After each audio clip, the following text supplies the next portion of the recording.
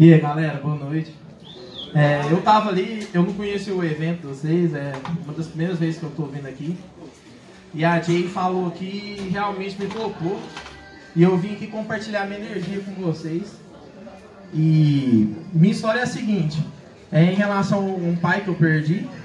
Então eu vou trocar essa energia com vocês. Infelizmente ele se foi. E eu vou ler essa poesia meio assim, da hora mesmo, que eu tava sentindo que ela, que ela me passou e espero passar. Porque a arte é isso, é passar o que você sente para as pessoas. Então, vamos embora. É isso aí. Talvez assim, tem algumas coisas que vocês não entendem, mas vamos embora. Então é isso. E o tempo não passou. E essa ferida no peito ainda não curou. Você foi embora e dessa vez não me acordou. Sempre que meu pai ia trabalhar, ele me acordava, eu reclamava disso e hoje eu sinto muita falta. É, eu perdi minha esperança, mas a minha lembrança sempre te traz de volta. E eu já nem sei para onde ir.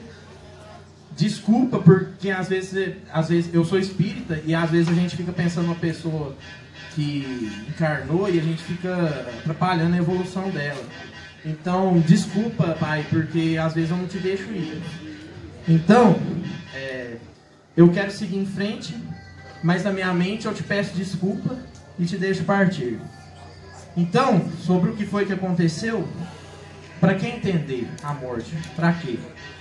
É, será que alguém como ele sabe amar como eu amei ele?